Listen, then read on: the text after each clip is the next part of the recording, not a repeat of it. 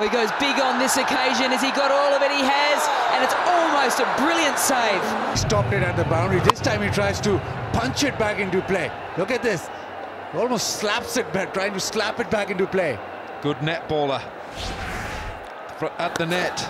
Well, leg line once again. Gayle on the charge on this occasion, and finally he finds a boundary. Good comeback from Afridi. Some of the most powerful batters in world cricket. You just think they may do it. Huge. With an absolute monster.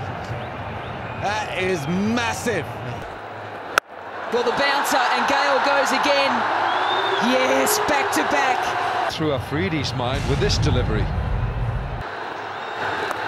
Can he go three in a row? No, he can't. He can't get it through either.